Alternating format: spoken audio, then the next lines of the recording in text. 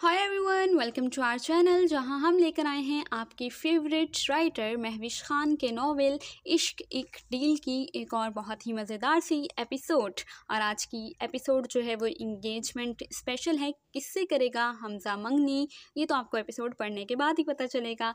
और इससे पहले मैं आप लोगों से महविश खान का एक मैसेज शेयर कर देती हूँ, जो जो उन्होंने आप लोगों के लिए दिया है। महविश कहती हैं हाय रीडर्स कैसे हो तुम सब? और बताओ, कैसा लग रहा है मेरा प्यारा सा न्यू हॉट सा नावल और इस नावल की डेली दो एपिसोड्स अपलोड हुआ करेंगी, एक मॉर्निंग में नौ बजे और दूसरी इवनिंग में सात बजे।